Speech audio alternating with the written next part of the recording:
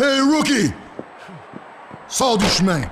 I've been talking with the locker room, and many of us are not happy with the way you've been walking around with your nose in the air, like you are better than us. Well, maybe the reason I've been acting like that is because I am better than you ham and eggers. And maybe the reason you're angry about it is because you know it's true. That is it!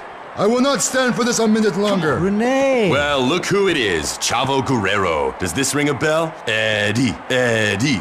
Man, you really aren't here to make friends, are you? You better watch your mouth if you know what's good for you. Tell you what, Chavo. If you think you can shut me up, meet me in the ring next week.